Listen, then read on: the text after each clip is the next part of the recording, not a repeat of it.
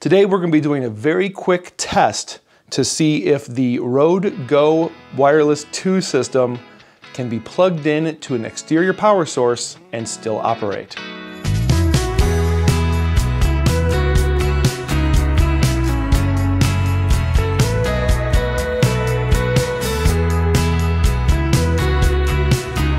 What's up everybody? My name is Jason from EO7 Media and 4Love Films and today we're going to be doing a very quick test on the Rode Wireless Go 2 system.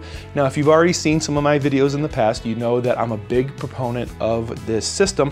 While the first system was really kind of crappy, uh, the version 2 is much better and has a lot of awesome stuff that you can do with it. I got an email from a buddy last night asking uh, for a little bit of assistance, uh, what kind of wireless system he would go for for a uh, conference type of shoot where he's shooting from about eight to nine hours at any given time. And unfortunately, these little bad boys here don't have that kind of battery capacity in them. And while I do recommend them for great audio and great distance, and what's even cooler is if I can turn around and totally block my body, the signal doesn't go away and that's amazing. What we're going to do today is we're going to plug in a power source. And what I have is I have two battery banks here. I'm gonna plug in a power source through the battery bank um, and then try and record at the exact same time and see if there's any kind of interference, anything goes wrong. Basically to try to extend the battery life of either the receiver on top of the camera or the transmitter wherever it's going to be placed. So basically we're just gonna jump into this and try this. There's not gonna be a lot of buildup. I'm talking way too much. So to do this experiment, I have two USB-C cables, because that is the type of cable you need. Uh, I have a big power brick, which I'm going to use for my receiver on the camera. I'm gonna plug that in here.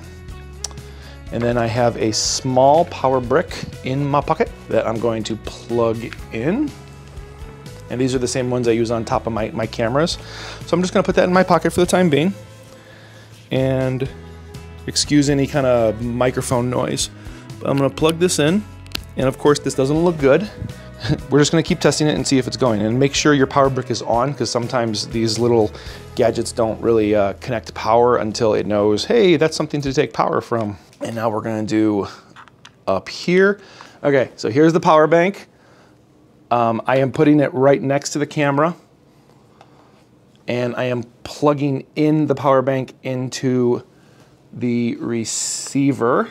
A quick note of information, the receiver uh, LED screen on top did flash out. It went blank, but then came back on.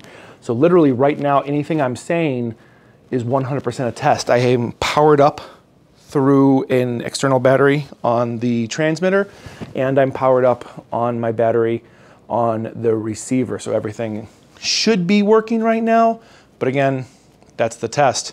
I'm gonna take this into my office real quick, throw it into Premiere and see if it sounds okay. So I have my SD card that we just shot on. I'm going to throw it into my SD card reader. I'm moving the clip over onto my computer right now. Plugging in the power bank into the receiver. Uh, a quick note, a quick note of information. All right, looks like the audio did go through just fine. No blips in the audio. Nothing changed from the power source, so that's fantastic. So you actually have a way to make these last longer than the seven hour maximum that they do already have. Uh, now it's really good to, if you're doing this at like a podium, you can power source it there so no one can see it, it's nice and clean. But if it's on a person, you will have a cable coming out of it, so keep that in mind. Um, just keep it in mind. the other good news, uh, I didn't even didn't even dawn on me until right now, but uh, you get two of these. And if you're doing a conference and you only need one, you can swap them out extremely easy when one battery goes dead and then just power source the one off your mixing board or the camera.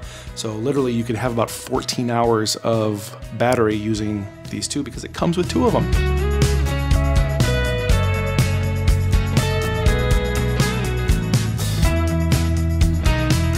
Success! That's fantastic. This is great news and it opens up the possibilities for more creative content. If you like what you saw today, make sure you like and subscribe and maybe write a comment about what uh, you would like to see done or some awesome stuff that you've done in the past with these things. I hope you're having a great day.